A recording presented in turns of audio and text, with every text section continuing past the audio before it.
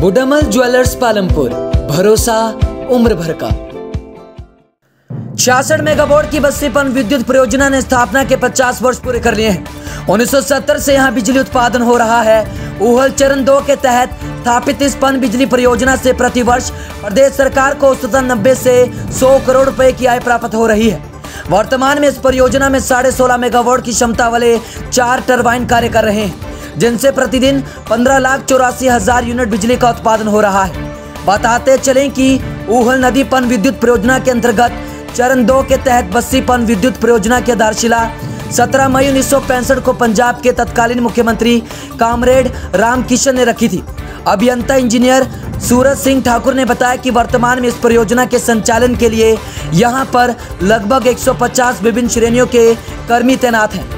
और इसकी first unit जो है मतलब उन्नीस सौ सत्तर में और फोर्थ यूनिट जो है उन्नीस सौ इक्यासी में। उन्नीस में जो है इसकी कैपेसिटी जो है सिक्सटी मेगावाट हो गई। इससे इसका मतलब इससे पहले इसकी capacity forty forty five forty five तीन यूनिटें मतलब एक जी। तो इसके बाद इसमें ये छियासठ मेगावाट की अभी प्रेजेंट कैपेसिटी है तो ये कब बढ़ी है इसमें ये कब इसमें ये हमारा लाइफ एक्सटेंशन इसका ऑपरेटिंग रेनोवेशन का काम चला हुआ था जी। 2010 और 12 के बीच में।